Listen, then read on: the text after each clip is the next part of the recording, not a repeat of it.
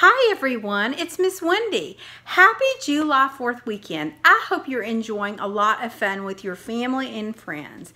This week we're going to learn that Jesus is a gift for everyone. Well, I've asked two of my friends to help out with a really fun demonstration. Kelly and Keenan volunteer in your class on Saturday night. Let's go see what fun they have for us. See you back in a minute. Hi everyone, I'm Miss Kelly. And I'm Keenan. Today, Keenan is going to wrap this awesome present. We have the present, wrapping paper, scissors, tape, a bow, and a blindfold. Well, you might be wondering, why do we have a blindfold? To keep things interesting, Keenan's going to wrap the present blindfolded. Are y'all ready? Let's go. Keenan. You got 30 seconds. All right, you can do it. Make it beautiful. Oh, somebody's gonna love that present. Uh, oh, oh goodness. Be careful. Oh, wow, that's so scary. Uh, okay, yeah, that'll work. Oh, oh wow, okay. Uh, wrap it around. Don't forget the ends. Okay, yeah, tape. Okay, you got five seconds. Uh, two seconds. Don't forget the bow. Ta-da! Wow, that was so much fun. Didn't Keenan do a great job? Way to go, Keenan. Well, wrapping gifts blindfolded, it may not be the best idea, but you know what? Truthfully, I like a gift no matter how it's wrapped. Now, let's watch our Bible story and to hear about the most awesome gift ever. See you back at the end.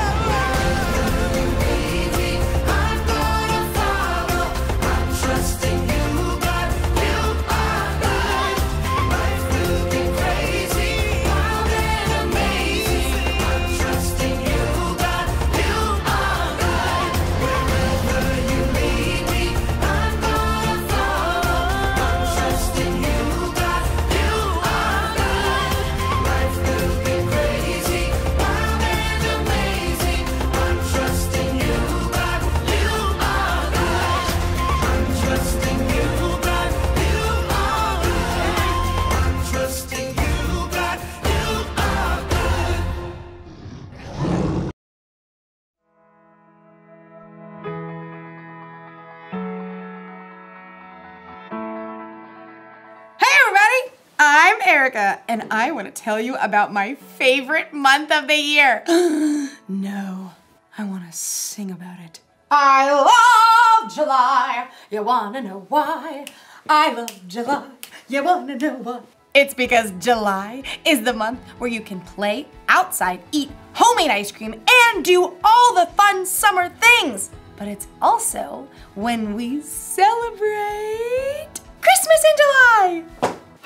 Have a holly jolly Christmas. It's the best time of the It is the best time of the year. Some of you are probably thinking that it doesn't feel like Christmas time, and that's okay. It doesn't have to feel exactly like Christmas time to celebrate it. That's what Christmas in July is all about. It just takes a little extra faith. Faith is trusting in what you can't see because of what you can see. Take Christmas presents, for example. Even though we can't see what's inside, we have faith that it's something good and exciting because it's from someone who cares about us and wants us to be happy. Like this one is from my friend, Haley. Man, do I want to see what's inside? Not a problem.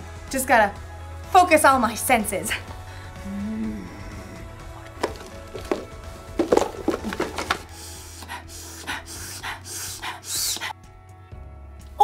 Maybe I need to focus with an x-ray machine. Yeah. Okay, it's not a real x-ray machine, but it's homemade and it should do the trick. Just one thing first. Got it! Now I can see what's inside. Hmm. It's kind of dark in here. This may take a while.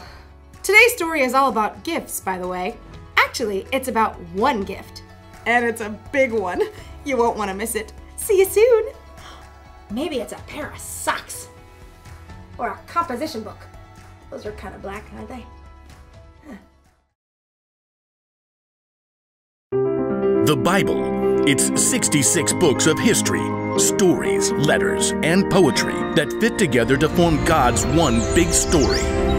The epic adventure of how He created us and loves us so much that He made a way to rescue us. As we travel through the Bible, from Genesis to Revelation, we discover people who met God and found their lives changed forever. Now, for an amazing story, inspired by the book of Ephesians, chapter 2, verses 8 and 9. Rin grabbed a handful of granola bars from the pantry and tossed them in her duffel as Aunt Dina watched. I don't know if they'll have snacks there. Aunt Dina raised an eyebrow and took a sip of coffee. Is it one of those church camps? I guess. I, I mean, Jess invited me. It's in the mountains. It sounds cool. You're gonna have to shape up, you know. You don't go to church like them. Hey, I don't get in trouble. Rin's aunt grinned and shook her head. Whatever you say, hun. Rin's mom breezed in with a rain poncho and handed it to Rin. Come on, Dina. Rin's a good kid, and she's gonna have a great time. There's Jess. You go and have fun. It was a three hour trip up to Camp Hickory. Jess and her mom chattered away, but Rin couldn't help thinking about Aunt Dina's offhanded comment. I do mess up. A lot. Images scrolled through Rin's head like scenes from a film. The times Rin snapped at her little brother. Go away, Keegan. You're such a pain. That time last week when mom shut off Rin's internet access. That is so not fair. And Rin snuck the password off of her mom's phone. And that exam where she accidentally saw the answer off of her friend's test and wrote it down anyway. I shouldn't have done that. Hey, Rin, we're almost there. Jess's cheerful voice cut into Rin's thoughts. She tried to smile as she looked out out the window at the winding mountain road and high blue sky. Great! Rin's worries haunted her as they checked in and made their way to the cabin. These kids all go to church. They know the right stuff to say and do. Rin glanced over to see Jess struggling with her oversized duffel and backpack. She decided it was time to level up. Hey, let me get that for you. But you've got. I can do it. Rin staggered toward the cabin, hauling both of their bags. Inside, they met their counselor, Sally. Hey there, I think this is all of us now. I'm really sorry, but the bottom bunk by the door is kind of creaky. We usually draw straws to see who will sleep there. I'll take it. What? Oh, well, that's great. At dinner, Rin looked out for more ways she could blot out the memories of her mistakes. They ran out of cherry cobbler. Here, you can have mine. When Sally spilled her water, oops, I'll just. I got it. I'll run over to the kitchen and get a towel. After dinner, everyone hiked the half mile toward the outdoor amphitheater for the evening gathering. Rin's eyes darted back and forth, looking for more ways to help. Hey, you can slow your roll now. Sally fell into step with Rin, who grinned sheepishly. This is all kind of new for me. Me too. It's my first year as a counselor. It's just, everyone here has gone to church forever. They've got it all together. Trust me, they don't. I don't. But at least they know the rules, the right stuff to do. Rin, you have been incredibly helpful and kind since you got here, which is awesome. But you don't have to do everything perfectly to fit in. At camp? Yeah, at camp, but also with God. That's what this week is about. Having fun and relaxing, knowing that it doesn't matter who you are or what you've done. God totally loves and accepts you anyway. Rin frowned as she hopped over a fallen log across the trail. I lied to my mom last week. Well, own up to it. She'll still love you, and it sure won't change how God feels about you. Not to be all churchy, but can I tell you this verse I love? Sure. It's the first thing I read when my friend Carl gave me a Bible three years ago. God's grace has saved you because of your faith in Christ. Your salvation doesn't come from anything you do, it is God's gift. It is not based on anything you have done. No one can brag about earning it. Christ, that means Jesus, right? Yeah, we'll talk about all that this week, but just know you can't work for God's love. He already loves you completely. Whether or not you lie to your mom, or take the creaky bunk, or give away your dessert. It just feels like, I don't know, I should have to do something. I know, right? But just letting God love you, that's the most important thing. Doing good stuff comes after knowing how loved you are. Rin took a deep breath, trying to take it all in. As the dust began to settle, she saw a large campfire ahead with rows of benches. Jess waved. Hey, Rin, we saved you a seat. Rin turned back to Sally. Do you have a place to sit? Go ahead. I'll see you for s'mores after. Rin jogged over to the bench where Jess and the other girls from the cabin were sitting. It was a lot to process, but for the first time all day, she felt like she could relax because she knew there was nothing she had to do to fit in.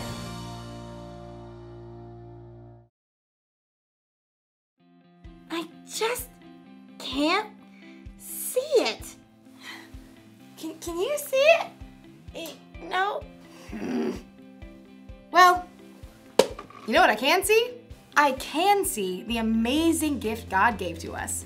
Not something we earned or worked for, but a gift God had planned since the very beginning. See, when Adam and Eve first turned away from God, sin entered the world and people's relationship with God was broken. And people were waiting on God to send a Savior. And that's exactly what He did. He sent Jesus to die on the cross to pay for the price of our sins. Jesus was God's gift to the world. So it's easy to think of things we can hold and unwrap as gifts, but this gift from God is so much bigger than anything that could fit inside a box. You'd need a really big box. Bigger, bigger, bigger, bigger. It doesn't matter if you found the biggest box on the planet, it still wouldn't be big enough. That's because there's no limit to God's grace. He loves you more than you can imagine. There's nothing you could do that would make him love you any more or any less. He sent Jesus so that we could have a relationship with him that will last forever. So, the one thing to remember today is this Jesus is a gift for everyone. When we believe that, it helps us do good things and love others, not because we're trying to earn God's love, but because we already know how much He loves us. And if you're not sure what you believe about God yet, guess what? God loves you so much, whether you realize it or not. It's like God is giving you a Christmas gift. All you gotta do is unwrap it! That's the only way to really know what's inside.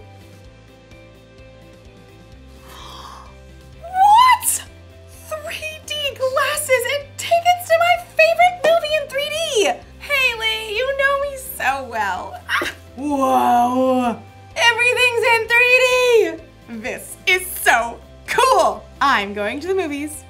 Merry Christmas, everybody!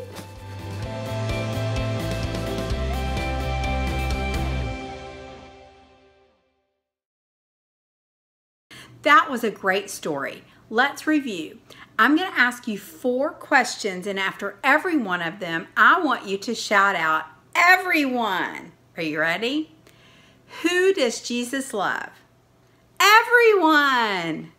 Who did Jesus die for? Everyone! Who can believe in Jesus? Everyone! And Jesus is a gift for who? Everyone. That's right. God wants everyone on the Jesus team, and He wants you too. We'll see you next week. Bye.